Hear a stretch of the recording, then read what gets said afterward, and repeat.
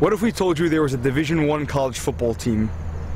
Based 90 minutes north of New York City, that competes in a national conference with some of the nation's top academic institutions.